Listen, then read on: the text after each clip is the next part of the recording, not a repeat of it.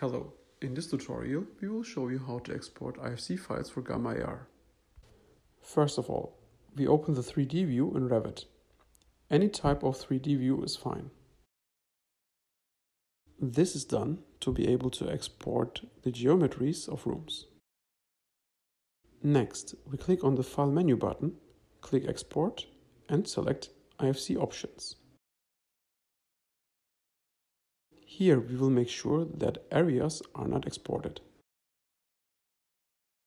Then we go back to the File menu, click Export and select IFC. Now we select Modify Setup. In the Additional Content tab, we check the boxes for Export only elements visible in 3D view and Export rooms in 3D views.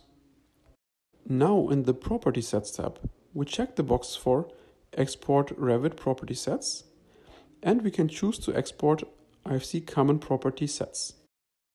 The level of detail can also be edited. The default value is low.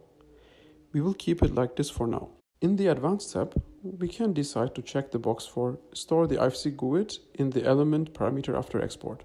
This will allow us to use Dynamo to link the information from Gamma back to the BIM model. Let's hit OK and export. We can now upload the exported IFC to Gamma AR.